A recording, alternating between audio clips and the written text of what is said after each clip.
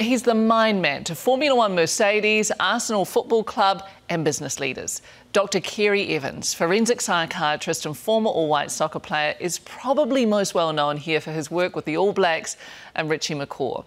But he says that knowledge is not just for super athletes. We can all learn to cope in difficult situations, even thrive and become free. Here's Matt Chisholm with Ceri and our Richie, honest, vulnerable, like you've never seen him before. When it gets real tough, if you've got it in you to get through, if you don't deliver it when it counts, then it's a waste of time. All Blacks legend Richie McCaw, a man who hit rock bottom. We scarred for the rest of our lives, and I mean that. The All Blacks were being called chokers. How fair was that? People said, yep, you're the number one team in the world, everyone can see that, but you haven't won a World Cup. And you can't argue with that because that was the truth. You know, people will say that. I, I struggle to say that. The word chokers. Yeah, exactly. Richie fought his way back up, becoming the only captain to win back-to-back Rugby World Cups. No team had won back to back, no captain had done it. And it was actually going from a team that just survives under pressure to actually are you a team that can actually thrive. And when you start thinking like that, then you go, I need as much pressure on as I can get because that's where you get good at it. What a moment for the great man. How much credit do you give Dr. Ceri Evans? A big part of uh, my uh, development around being able to understand pressure and be able to handle it was, you know, he, he had a big part to play in that. Dr. Ceri Evans, the mind man who helped the All Blacks finally win on the world's biggest stage. I've worked for 25 years with people who want to do better in terms of their performance, but their mental world gets in the way. They don't want to look inside. It's hard for us to look inside, it's uncomfortable. Mm. It's also uncomfortable when the forensic psychiatrist you're interviewing flips the script. Would you like to get better, Matt, at what you do? Yes, Have you reached your potential? Probably not. I'd And- like to think that things can get better for me. Yeah, and of course they can. Of course they can. So the big question is, do you want to move or not? As much as I'd like a free session, Why am I as screwed up as I am, Ceri? we're not here to Uh, talk about me. situation. This former Rhodes scholar and All Whites footballer believes he can help everyone perform better under pressure. To really push further, we need to look at our vulnerabilities, and that exposes us. Doesn't sound very Kiwi to me. Mm. I don't think we're very good at that, are we? Probably not. There's certainly something in our national psyche, but that shouldn't hold us back from exploring our limits and going as far as we can. And that means dealing with discomfort, not avoiding it. There's massive movements around the world, mindfulness, wellness, uh, that are directed towards making us feel more comfortable. Most people have been under the illusion that to be better at what they do, they have to be more comfortable. And it comes as quite a surprise that they've been headed in entirely the wrong direction. Ceri believes we need to get comfortable with being uncomfortable. And that's me too. I can't escape his questioning. If I ask you to picture in your mind your personal wellness moment, where would that be, the location? Chatto Creek, Central Otago. Nice. Doing what? Walking around the hills with my sons, Yeah, poking a few animals through a Yeah. gate or something similar. yeah.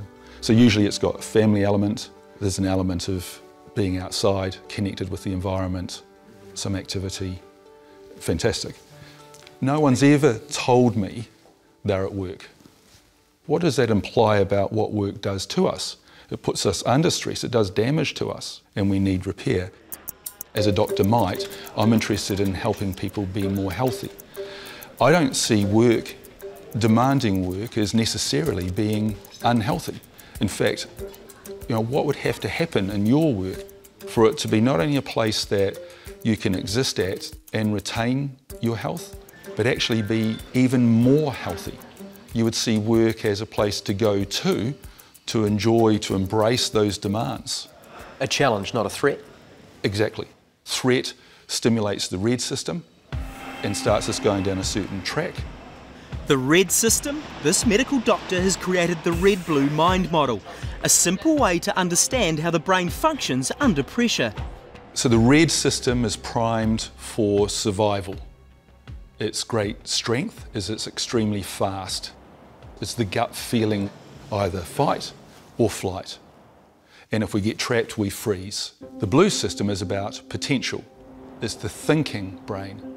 It's analytical. It runs on logic, words, numbers.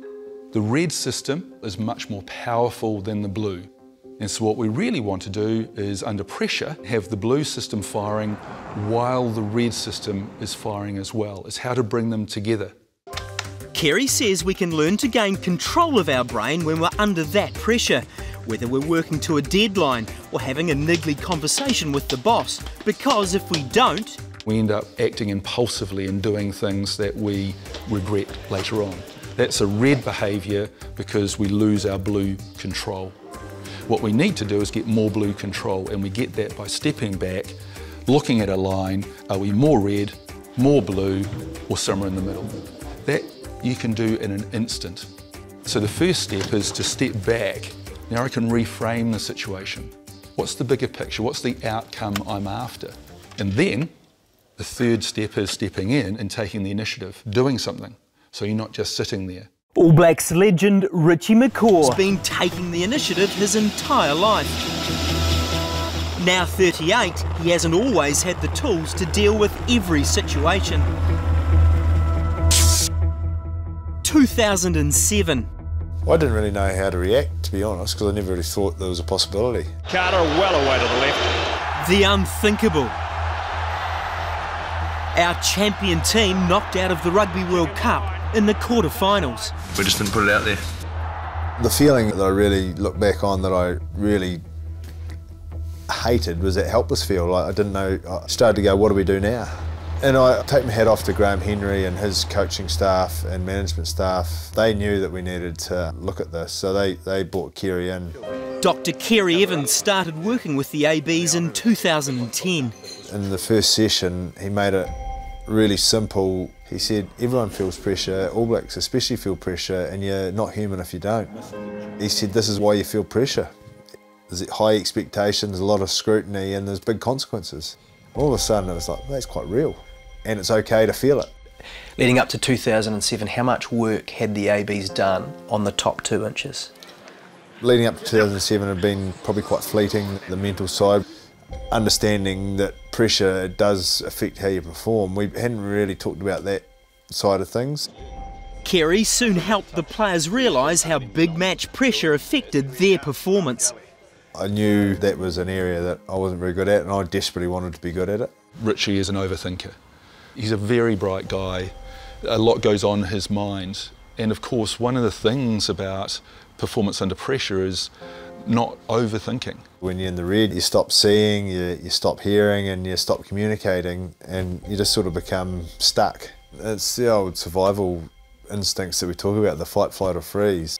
I used to drop my head and, and get into that passive mode and just go quiet and a bit like freezing, you know, you just sort of let things happen around you, you weren't in control. Because you don't want that in a leader, do you? We don't want it in anyone. Once you get into that loop, then you, um, you find motor skills become clunky.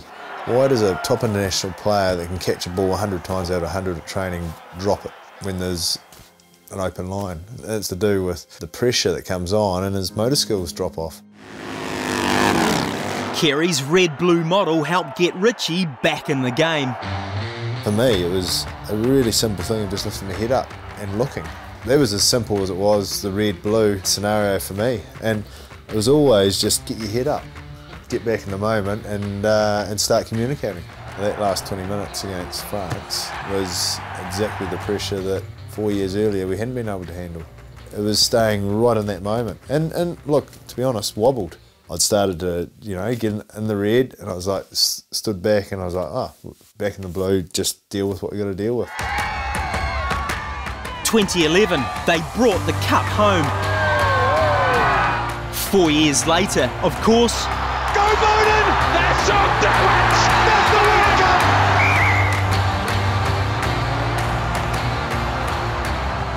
They did it all again. In the end, the bigger the game, the more pressure was on, the better. I started to really crave that. How good is it knowing all this mind stuff that you didn't know?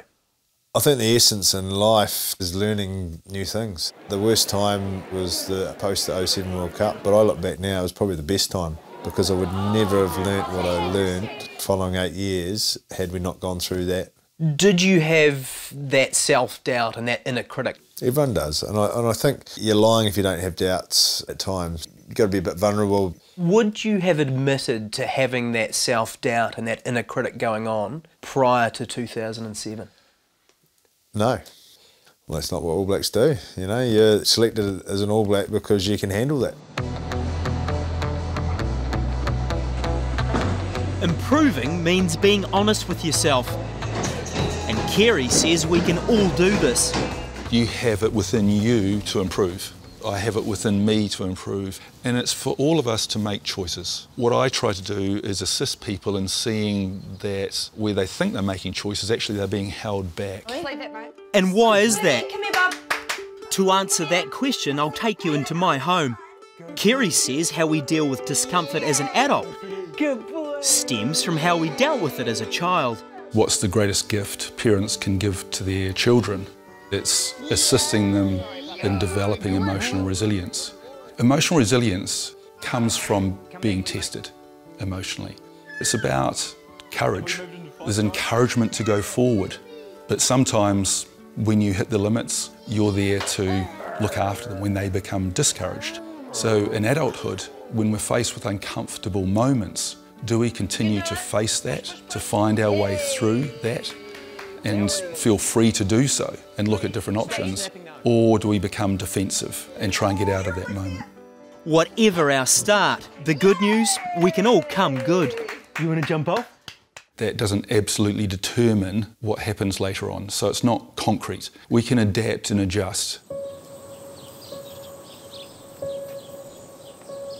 Richie might have hung up his boots, but he's still dealing with pressure, still catching up with Ceri, still using his techniques. You can just have a bad week and things get on top of you, and you know, really simple stuff like that. To be able to work your way through that and not let it get on top of you, I think you know that's a type of pressure. What gets you out of bed these days? I love getting up and going flying. Richie's day job now, a commercial pilot, flying helicopters. Instructing others, a big part of his role. You can see the white knuckles on the controls when things in the helicopter starts being jerky and they're starting to get tense. You know, tunnel vision, you know, where you just get fixated on something and everyone does it. It's just a matter of when you get like that, how do you get yourself back? And when all eyes are on Richie, the red can still rise. You come and landing in front of a whole lot of people that are watching and judging. Geez, you delivered though. Do you see the white knuckles? Hopefully they didn't see that through the window. Home life for Richie, new chapter, new challenges. I've got a family now, a young one that gets you up pretty early. It's a different challenge when you know you've got uh, a little person. The early days are so important for what happens down the track and getting that right. You know, you want to do a good job of that. So would Gemma say you're making good use of the red-blue model at home? I'm not sure, I hope so. yeah, it hasn't got to the point where I've uh, gone, geez, I really need to be uh, working on that, so it's obviously going okay. You're not on the couch. No, no, exactly. Ceri, is age our friend? Not necessarily, because most of us just plateau. Right. And we all like to think that we get better with age, but unfortunately we don't. Anything wrong with not wanting to improve? Of course, there's nothing wrong with that. There's nothing wrong with not wanting to improve. My focus is on movement, helping people move who want to move. This great Kiwi will always choose to push himself to the limit. I've got into a bit of adventure racing, which way outside my comfort zone, and just that anticipation of what might happen and are you going to be able to get there. I think this might be why I'm here, actually to see what my limits are. Actually, I'm going to see whether I can handle it. The whole point of this is to be able to face difficult moments, to find your way through them, and that will ultimately give you more choice and make you free. Well, Dr. Ceri Evans has written a practical guide, Perform Under Pressure, on how to get through the tough moments and reach your potential.